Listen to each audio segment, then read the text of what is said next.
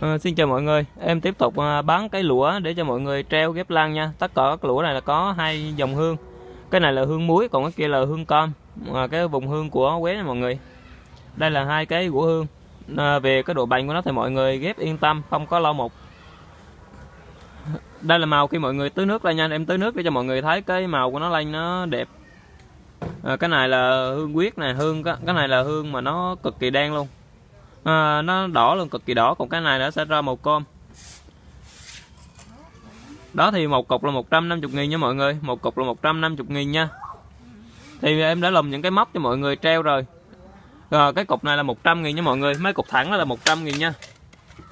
Đó là hai cục thẳng là 100 nghìn một cục.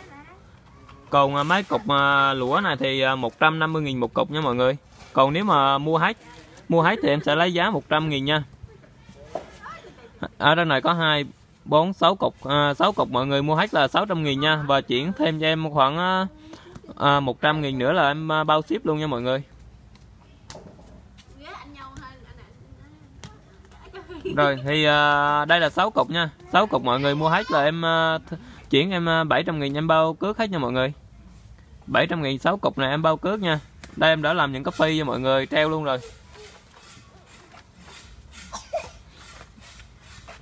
Rồi thì bạn à, có, có anh chị nào mua hết thì liên hệ em nha.